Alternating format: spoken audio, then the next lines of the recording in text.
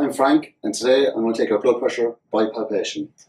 Firstly, I'm going to get the patient to extend his right arm. I will then align the blood pressure cuff on the arterial guide with the patient's brachial artery.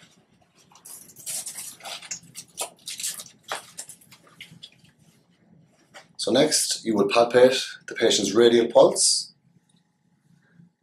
and then you will begin to inflate the blood pressure cuff.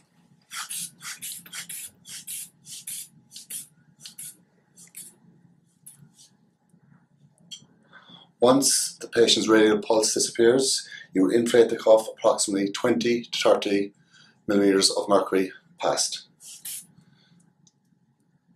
And then slowly deflate the cuff.